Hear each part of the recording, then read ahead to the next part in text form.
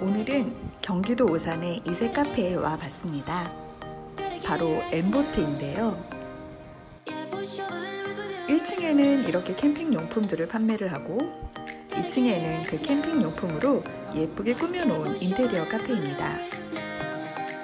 저같이 캠핑을 전혀 모르는 사람도 들어본 미니멀 웍스, 트래블 첵, 솔로 스토브 등 여러 브랜드의 캠핑 용품들이 예쁘게 진열되어 있습니다. 같이 구경해 볼까요?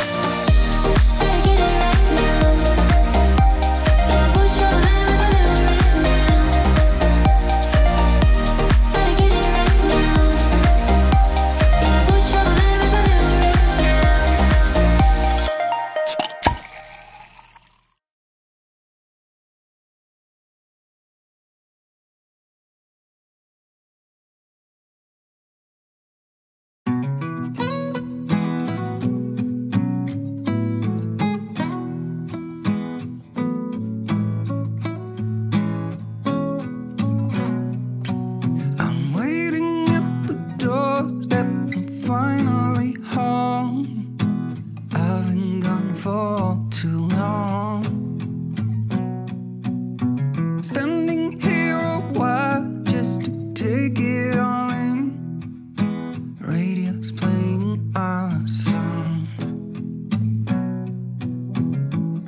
And then you stood there smiling